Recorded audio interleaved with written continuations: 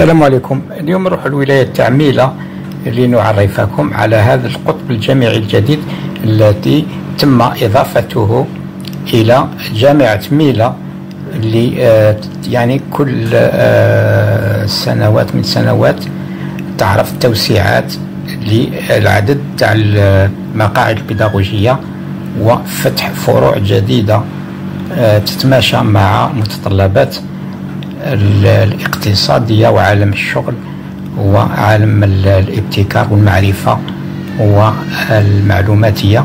إذا فيه آه، فروع جديدة سوف تفتتح في هذه التوسعات الجديدة لجامعة ميلا. نخليكم تتابعون ما تبقى من الفيديو السلام عليكم.